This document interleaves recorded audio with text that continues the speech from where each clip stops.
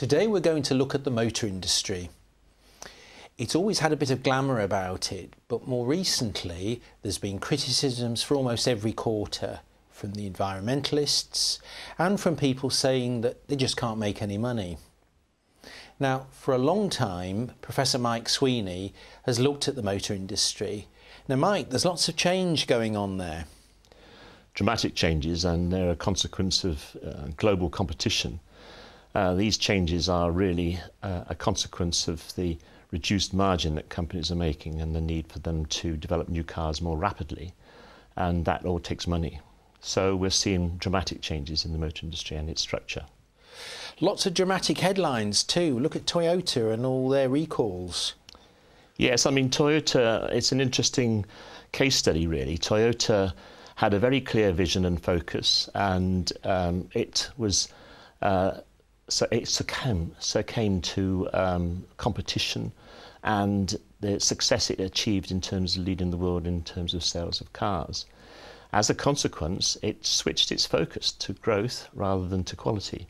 And we've seen the results in terms of the reputation of Toyota now.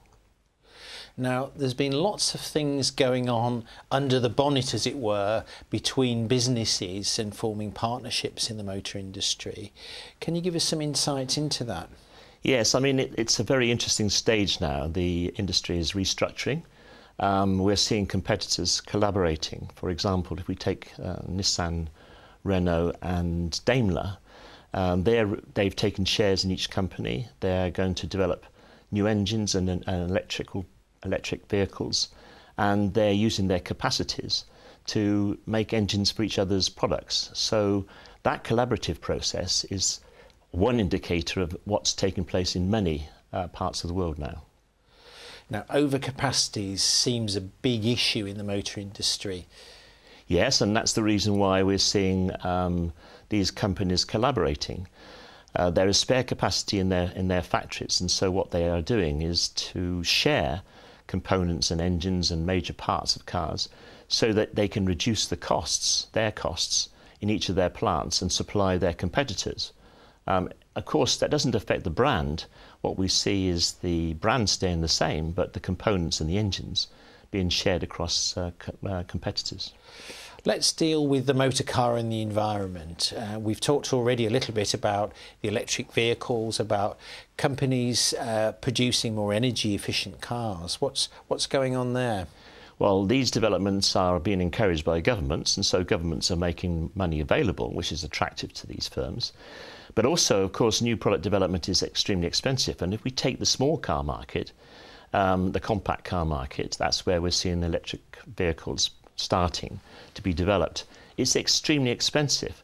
So the ways in which they can overcome um, the costs is to share the cost between collaborators, and in that way they reduce the original cost for development and obtain um, attractive product offerings in the compact car market.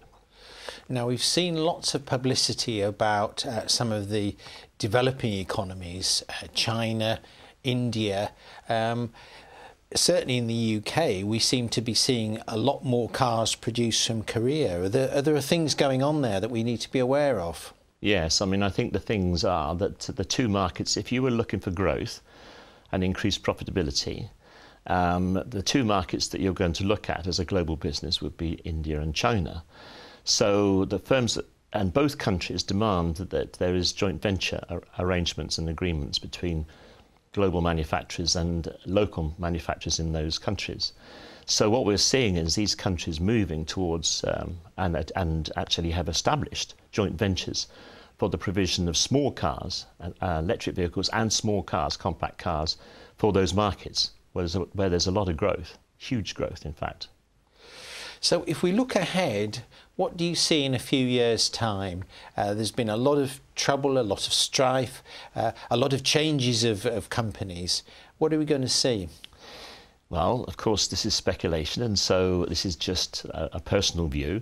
Um, I think there are indicators to say that there will be more collaboration, but this time, um, although Europe is leading the way in these collaborative agreements, I think they'll stretch to America because it's attractive for uh, collaborative organisations in, the, in Europe to have a partner in America. It's a very important market. And of course, there will be collaborative agreements already established in terms of the Chinese and Indian markets.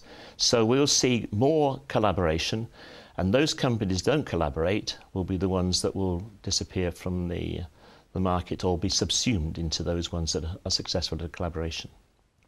Mike, thank you very much. Pleasure.